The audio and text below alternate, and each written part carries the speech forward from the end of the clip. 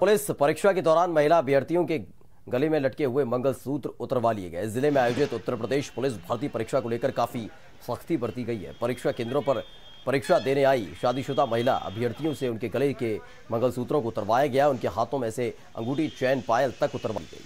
महिला अभ्यर्थियों ने रोते हुए कहा कि हिंदू धर्म में कभी भी एक विवाहिता अपना मंगलसूत्र बेवजह नहीं उतारती है, लेकिन कर्मचारियों ने महिला अभ्यर्थियों की दलील को दरकिनार करते हुए अभ्यर्थियों से मंगलसूत्र उतरवा दिए। और उन्हें जमा करा दिया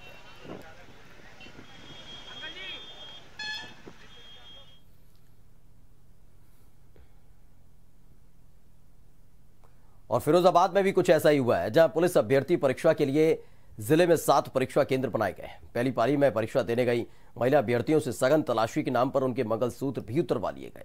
ये रिपोर्ट देखिए। मुझसे कोई गलत बयानी न हो जाए, इसलिए आज सुबह मैंने उनकी माँ से दोबारा बात की। और पूछा कि क्या आपकी भी बिंदी चूड़ी मंगलसूत्र उतरवाया था? तो उन्होंने भरे गले से कहा कि जिस समय वो मंगलसूत्र उतरवा रही थी तो मैं ये कह रही थी, ये मेरा सुहाग का चिन्ह है। इसे रहने दे, मैंने कभी नहीं उतारा।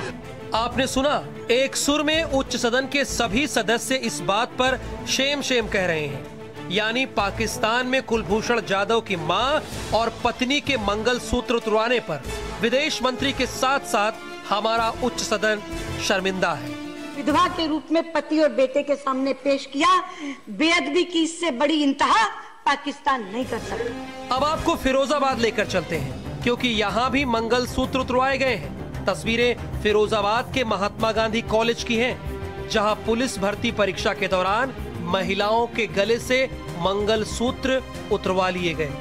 हम जब अंदर गए तो हम वापस भेज दिए थे कि सारा कुछ उतार अच्छा, दिया। बहुत बुरा लगा। उतरवा दी है चूड़ी उतरवा दी। हाँ और बिच्छुओं की बोल रही थी कि अलाउड नहीं है पर तुम्हारी मर्ज़ी है उतारो। मैं हमने बोला हम बिल्कुल नहीं उतारेंगे। हाँ यह मुझे अच्छा नहीं लगा कि जिस तरह से हमारा सुहाग चूड़ी एक कंगन भी हाथ में नहीं आने दिया मंगल सूत्र उतरवा लिया और नाक की वाली तक उतरवा ली अच्छा नहीं लगा। तो मुझे बहुत बुरा लगा अच्छा नहीं लगा बट जो भी है एग्ज़ाम था इसलिए करना पड़ा लेकिन बुरा बहुत लगा मुझे। सुना आपने, इस बात को लेकर इन महिलाओं में आक्रोश है। अब सवाल ये है कि क्या ये मानसिक प्रताड़ना नहीं है? मतलब हमारा उच्च सदन पाकिस्तान में जो कुछ हुआ, उसके लिए शर्मिंदा है। लेकिन हम सुरक्षा का हवाला दे रहे हैं। कोई भी चीज़ सुरक्षा के लिए अनिवार्य होता है। मैं नहीं जानता कि फिरोज़ाबाद में क्या हुआ है, लेकिन जहाँ भी हम लोगों ने किया है, वो केवल सुरक्षात्मक कदम उठाए हैं और उसके लिए कैंडिडेट्स ने भी विलिंगली वो किया है। कैंडिडेट्स भी चाहते हैं, जो अच्छे कैंडिडेट्स हैं, जो ईमानदार कैंडिडेट्स हैं, जो पढ़े लिखे हैं, वो चाहते हैं कि एग्ज़ाम बहुत ही अच्छे माहौल में हो ताकि उनका चांसेस ऑफ़ सक्सेस बहुत ज़्यादा हो। तो मैं समझता हूँ कि ये कोई इशू नहीं है। किसी भी सुहागिन महिला का सबसे बेशकीमती आभूषण उसका मंगलसूत्र होता है। किसी भी हालत में वो इसे उतारती नहीं है। लेकिन पुलिस भर्ती परीक्षा में जो कुछ भी हुआ, वो नहीं होना था।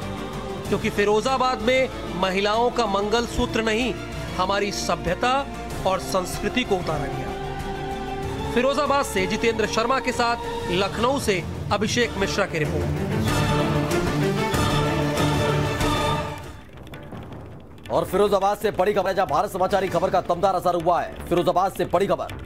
पुलिस परीक्षा में मंगलसूत्र उतरवाने का यह मामला राज्य महिला आयोग ने मामले का संज्ञान लिया है। महिला आयोग पुलिस कर्मियों को नोटिस जारी करेगा। पीड़िताओं को दो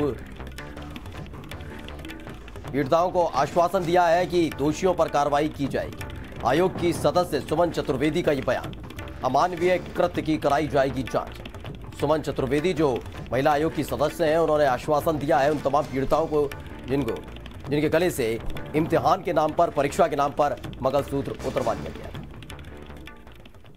और यहाँ वक्त एक छोटे से ब्रेक का। फ़ौरन